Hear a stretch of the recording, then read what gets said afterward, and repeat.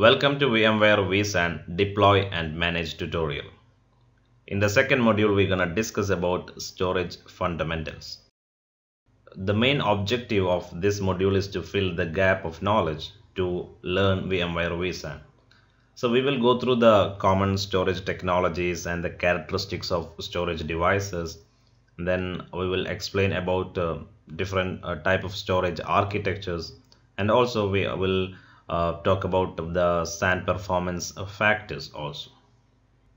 The common storage technologies are local storage, direct attached storage, network attached storage and storage area networking.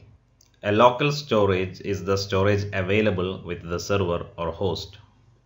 So when you buy a server, you buy it with some hard disk and these hard disks are connected to a backplane and this backplane is connected to a RAID controller. So either you enter through the RAID BIOS or through some of the interface provided by your server provider. You create a RAID 1 or 5 or 6 as per your requirement. Then when you install the operating system, the disk will be available to the operating system and you install your OS and you use it. This is how a local storage work. The second one is direct attached storage. Sometimes the local storage available with the server is not enough to handle the storage requirement. In this case, you can buy a storage box. This storage box is just occupied with some disks and a backplane. It doesn't have a RAID controller or any other storage processors to create a RAID and to present it as a volume to your server. So you need to connect a SAS or SCSI cable from the storage system to the server. Then you can create volumes from the server using the RAID controller or the controller which you use to attach the DAS system to the server. So the good thing with this one is you can expand the storage of your server to multiple systems using storage box like a direct attached storage.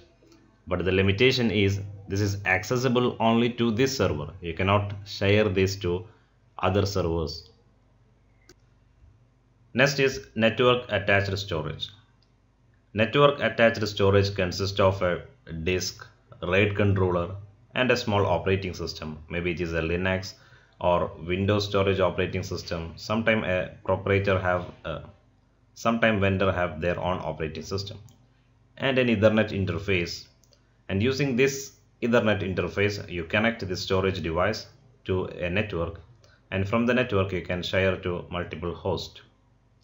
To create logical disk, sometimes the storage provider give you an interface, web interface or a storage management tool.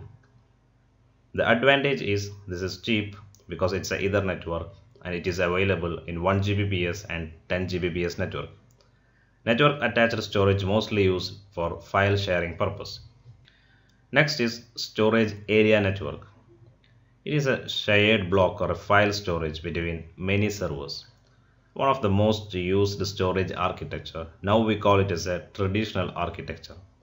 We will be comparing the vSAN with this architecture to talk about the advantage and the flexibility of vSAN. This storage is a SAN network which are heavy capacity and high performance capable. You can scale out up to 4 petabyte or 8 petabyte these days. So this is designed in a way which have multiple storage processor to provide high availability and caching for speeding the data transfer. And it is an expensive network.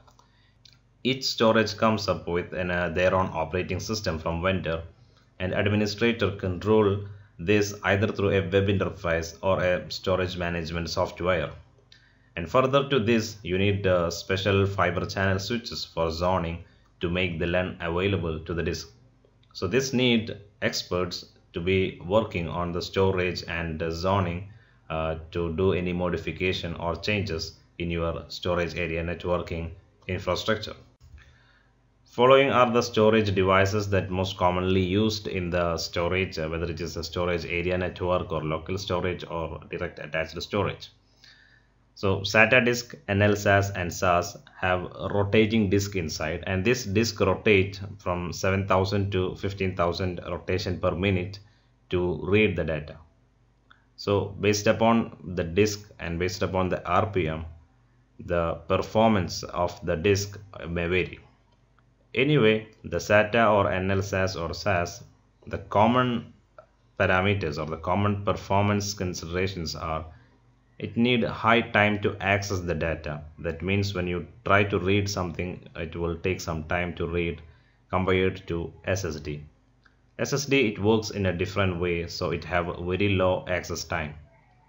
The second one less IO performance.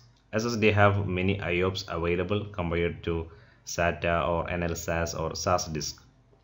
Because of the rotating disk the possibility of failure is very high compared to SSD and SAS or NL-SAS or SATA which require high CPU power when you compare with SSD. When you compare the IOPS for SSD and SAS, there is a big difference between the IOPS available for SSD and SAS. SSD can provide you high number of IOPS compared to SAS. The cost of SAS or NL-SAS or SATA, we can say the rotating disks are very less compared to SAS, especially when you want to catch up higher capacity of SSD the price is very very high.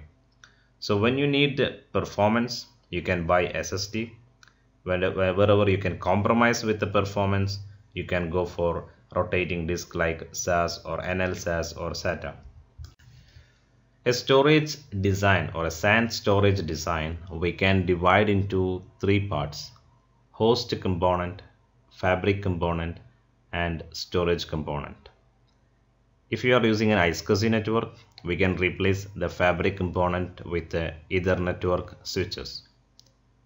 Let us continue with the fabric component. In the storage component, you can see the bottom is mentioned storage array. We call it as a disk array also. Disk arrays are a group of multiple disk devices. So you have a two unit or one unit device with multiple number of disk and a backplane and behind this disk array you might see a SAS or SCSI connection and you can run a cable from this one either to the next disk array or to the storage processor. The storage processor communicate with these disk arrays and provide RAID or LUN functionality to the server. A storage uh, device consists of multiple storage processor and this will help us for the seamless transition of uh, LUN and also the communication with the disk arrays in case of a failure of uh, other storage processor. So from this storage processor we have equal lines going to SAN switches, multiple SAN switches and these multiple SAN switches connect to the host servers. The host servers are installed with HBA card which is a special card used to communicate with SAN switches or any fiber channel communication. For more understanding, look at the storage architecture picture here. So this is how a storage look physically from the front side and this is the view of uh, back side. So this uh, disk enclosures have uh, SAS connectivity which is a 12 Gbps or uh, 16 Gbps uh, connectivity. And these are connected to the storage processor. And you can see a one unit SPS this is a power supply feeding power to the storage processor and also to the uh, disk enclosures. So whenever there is a power failure this SPS consists of some batteries. So this battery will uh, continue working until the cache release the data into the disk. Now look at the storage block diagram here here I have uh, one uh, storage processor block with uh, four storage processor and three disk array enclosures. Each disk array enclosures are occupied with a different uh, type of disk. The first one with the flash, SAS and NL-SAS. And the storage processor is connected to the first disk array enclosure using a backend connection SAS. And from this disk array enclosure, it is connecting to the second uh, disk array enclosure and from the second one it is connecting to the third disk array enclosure. And this is my final disk array enclosure and I'm running a cable a backend connection from the third disk array enclosure to the storage processor. So this is working like a loop. So whenever there is a failure the other channel will take care of the communication. And also the good thing is when you want to scale out the storage uh, disk array enclosure so you don't need to run a one is to one cable between the storage processor and the disk array enclosures. Uh, you can manage the connectivity from the nearest disk array enclosures. And you can see there is a cache memory here. This cache memory is associated with each storage processor. So whenever there is a data come to the storage processor it will be written to the cache and the cache will destage this uh, data into the disk array enclosures so each storage processor have cache memory and between the storage processor these caches are mirrored. So whenever there is a failure for the storage processor the cache will be uh, destaged from another storage processor the passive storage processor to the uh, disk array enclosure. And when you look at the front end connectivity you can see there are multiple connections going to the fiber channel switch and also from each host or server there are multiple connections coming to the uh, fiber channel switch and we need to do some uh, configuration called zoning here. And based upon the zoning the LUNs or the logical unit that you created in the server will sorry in the storage will appear to the server. So whenever there is a failure at this point or in a storage processor point still the other path will take care of the communication. And the result of failure is a reduction of uh, bandwidth but the availability will continue this is another look of uh, same architecture where when you write uh, something from the host to the storage. Uh, based upon the active storage processor it will go to SPA or SPB let us say SPA is active. So this will be written into the memory and at the same time this is mirrored. So a copy of that will be written into SPB so before it uh, write to the SAS if there is any failure or something then the SPB will take care of the destaging of data and here you can see the SSD is mentioned as a hot data and uh, SAS or NL SAS is mentioned as a cold data which means that the most frequently uh, read or uh, data will be written into the uh, SSD disk and the less frequent access data will be written into uh, the NL SAS or uh, rotating magnetic disk devices. So every day based upon the usage of data based upon the uh, read the storage will optimize and rearrange the data and the most uh, used data will be moved to uh, SSD and the least used data or the least accessed data will be uh, optimized and moved to uh, SAS or NL SAS devices.